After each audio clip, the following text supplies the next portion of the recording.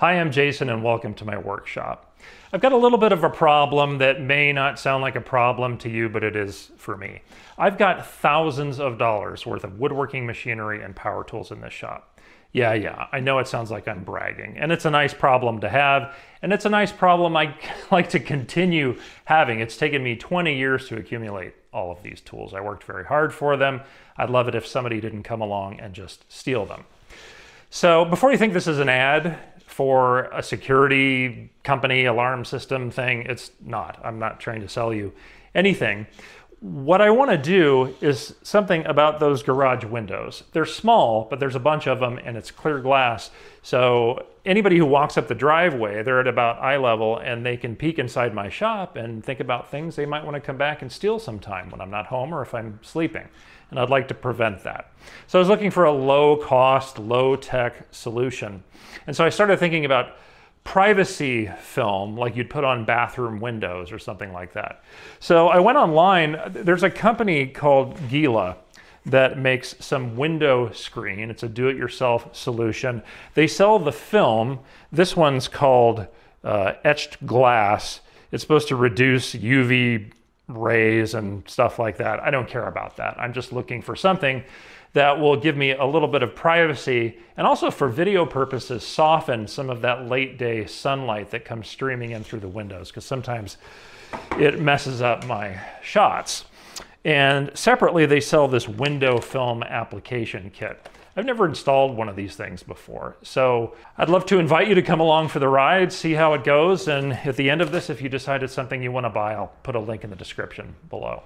So it's about 3.30 in the afternoon and you can see I'm getting some pretty intense sunlight in here. So hopefully that window film will take care of that problem. Before I can install this stuff, your windows have to be squeaky clean according to the instructions. And my shop's in a two car garage, and if your garage windows are anything like mine, they're disgusting. Mine are covered in just years of dirt and sawdust and lots of cobwebs. So before I use any kind of cleaner, I'm just gonna go at it with a shop vac and a brush nozzle and get all of that crap off before I move on.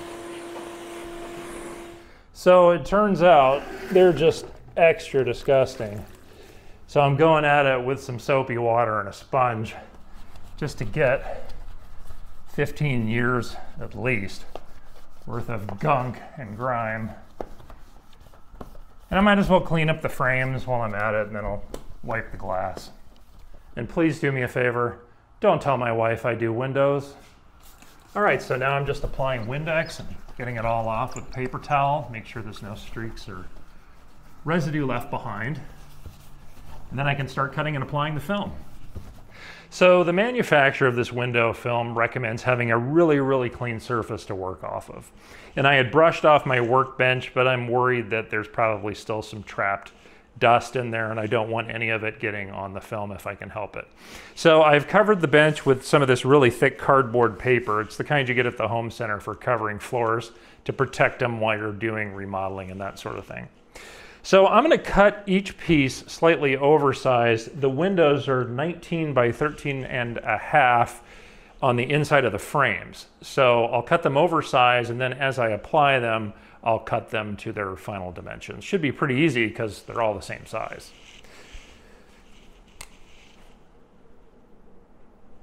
Okay, and now using a brand new sharp utility knife blade, I'm going to use the longest ruler I have and just make a cut right along the ruler.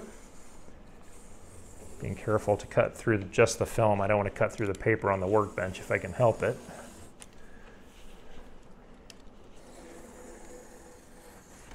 And I've got my first piece. Okay, so this next part might be a little bit hard to see. The film's actually two layers, one clear liner and one is the film that will apply to the window. And it can be a little tricky to get the two layers apart. So what the manufacturer recommends is taking some clear tape. I just took packing tape. You could probably use scotch tape if you've got that lying around. And then I put a clear piece on one side, a clear piece on the other side. And to make sure they don't stick together, I folded them over onto themselves on each side. So now they recommend just pulling this apart quickly, just like that. And you can see that that's the clear liner that you're taking away. And what you're left with is the film that goes on the window. And we're ready for the next step. Okay, so the next part is a little bit tricky if you're working alone. So I went ahead and peeled off the entire liner. The manufacturer actually suggests having someone hold it and then spray some of this application solution and sort of spray and peel and spray and peel as you go. I'm working alone, so what I've done is I've propped my film on top of some bench cookies, just because I'm a woodworker, I have bench cookies. So you're supposed to wet both sides of this. It helps to get rid of static, cling, I guess, and also helps reduce some of the curl. So I'm gonna spray both sides of this and the window. It's not an adhesive. It just helps this cling. Just like that. And I've already wet the window, so I'm going to head over there and hopefully it'll stick. Okay, I sure hope this works.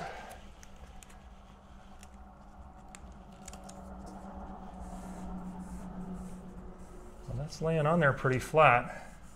Okay, so in the installation kit, they give you a squeegee and this little cutter. It's hard to see, but there's a tiny little blade right there. And what you do is you start in the middle, you just kind of work your way out so that you're working all the bubbles out of the film. And you'll see that solution sort of come out. And I'm pushing as far to the edge as I can, always working from the middle out. So I can get all those bubbles.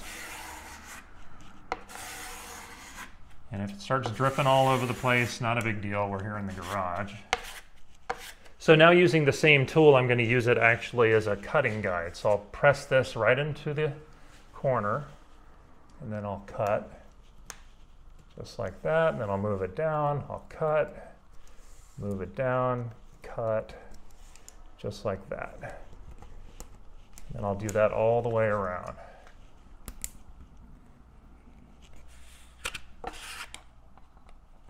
Now we just peel off the excess. And then I'll just go at it with the squeegee again, pushing right into the edge. Always working from the middle out. I can still see some bubbles there. Make sure you get the bubbles all out now because it could be pretty tough later. So believe it or not, I was able to get this whole thing done tonight. Eight windows in an hour and a half. It's not bad at all. Uh, the worst part was washing the windows. and uh, again, don't tell my wife I do windows. Um, but uh, yeah, I mean, and I love the outcome. You can see the sunset. The sun normally would be just beating through here this time of day.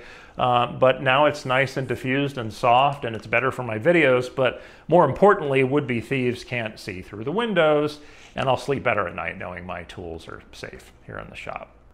So just a couple of my thoughts about the installation kit, which you buy separately, by the way. Um, the liquid solution that you use to spray the glass and the film, that's the most important part. It comes with a cutting knife and it works okay, but my hands are kind of big. It's sort of awkward to hold. It's hard to see where the blade is because it's so small. And I got sort of a ragged cut in a few places. So I found I had a little better luck with just a regular utility knife and every couple of windows I would switch to a fresh edge of the blade or I would just change the blade and I got better results that way. Um, also this yellow squeegee, which you also use as a cutting guide, you want to make sure if you're using this as a cutting guide that you only do it on one side and you save the other side just for squeegeeing because the blade will give you a ragged edge on one side and then it doesn't work very well as a squeegee.